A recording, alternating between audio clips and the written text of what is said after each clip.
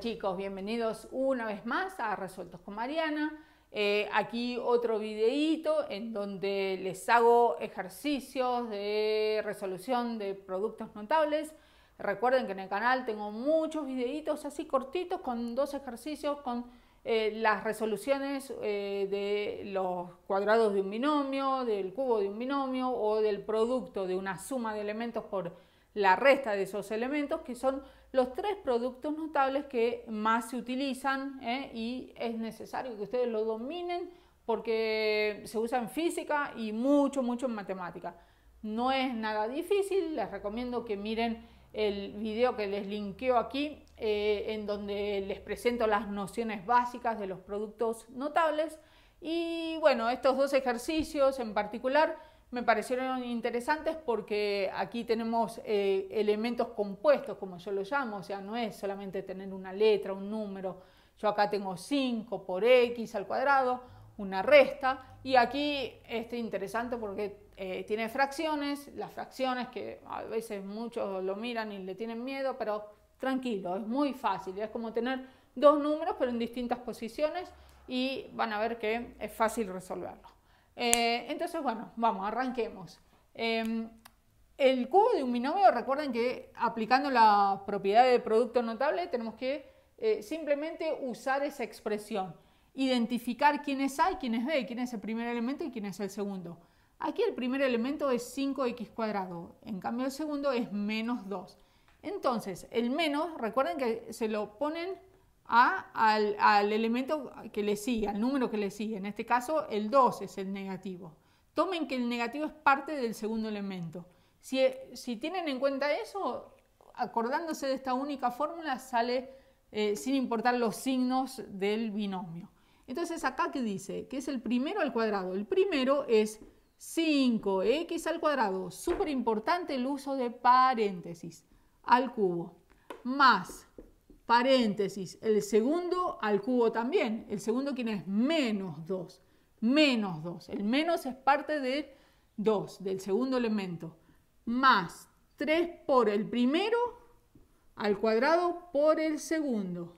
El primero era 5x al cuadrado y el segundo es menos 2. Y por último, más 3 por el primero que es 5x al cuadrado por el segundo al cuadrado, que es menos 2. ¿eh?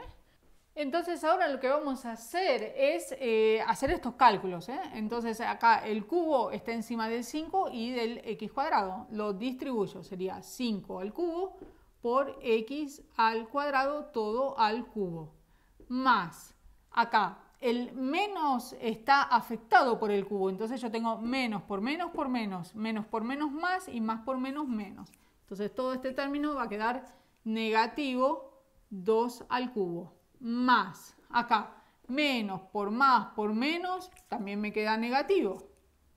Sería 3 por, distribuyo acá al cuadrado, sería 5 al cuadrado por x al cuadrado, todo al cuadrado por 2, que no le pongo el negativo porque ya lo analicé acá, lo puse ahí. Y acá, el menos al cuadrado es positivo. Positivo, positivo, positivo, me queda positivo. 3 por 5, x al cuadrado por 2 al cuadrado. Entonces ahora hago los cálculos. 5 al cubo es 5 por 5 por 5.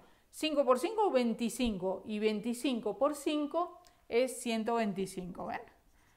5 eh, es 25, me llevo 2. 10, 12, 125, x acá. Potencia de potencia, por propiedades de exponentes, ya tienen que saber que potencia de potencia se multiplican las potencias. 2 por 3 me queda 6. Menos, este término 2 al cubo es 8. Este término de menos a más. Vamos despacito.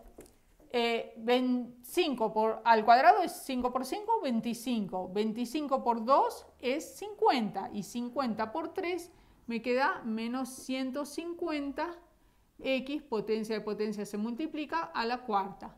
Y acá, 2 al cuadrado es 4. Y 15 es 3 por 5. 15 eh, por 4 me queda 60. 60x al cuadrado. Entonces ahí finalmente llegué al resultado del primer eh, cubo de binomio. Vamos con este segundo. Este segundo es eh, fácil, aunque no parezca, es facilísimo. Lo único que ustedes ven, claro, hay una fracción, pero con las fracciones es como si tuviese acá una multiplicación. La potencia se distribuye en ambos números. Entonces me va a quedar el primero al cubo más el segundo, pónganlo entre paréntesis porque es un número compuesto, también al cubo, más 3 por el primero al cuadrado por el segundo, más, por último, 3 por el primero por el segundo al cuadrado. Entonces acá, primer término queda igual, x al cubo. Acá, distribuyo el cubo al 3 y lo distribuyo al denominador 2. Más, este, como acá está la 1, en realidad no me está haciendo nada este paréntesis, lo puedo quitar y ahora hacemos las cuentas, más, acá sí lo distribuyo, entonces por x por 3 lo quito y ya distribuyo la potencia. Por último, me queda x cubo más 3 al cubo. 3 al cubo es 3 por 3 por 3. 3 por 3, 9. Y 9 por 3, 27. 27 y 2 al cubo es 2 por 2 por 2. 2 por 2, 4 y 4 por 2, 8. Más, vamos a ver este. Las fracciones se multiplican así en forma lineal. 3 por 3 es 9 y acá abajo hay 1. 1 por 2, 2. X al cuadrado. Y por último, este último es 3 al cuadrado, vamos, déjenme ponerlo acá para ahorrarme un paso, es 9 y 2 al cuadrado es 4. Entonces acá hay un 1, 3 por 9 es 27, 1 por 4 es 4 y x. Y ahí finalmente llegué a este resultado. Entonces, bueno, Ven que eh, tener fracciones, tener multiplicaciones es lo mismo. ¿eh? Eh, lo importante es que la potencia sepan que se distribuye a todos los numeritos, los factores. Dominen bien este tema de cuadrado de un binomio, cubo de un binomio, porque son herramientas estas que son muy utilizadas en matemática y también a veces en física. Así que a dominarlo bien, a practicar mucho, no es nada difícil. Si tienen alguna dificultad, me escriben en la parte de abajo de comentarios que con gusto en algún momento les voy a contestar como lo hago siempre.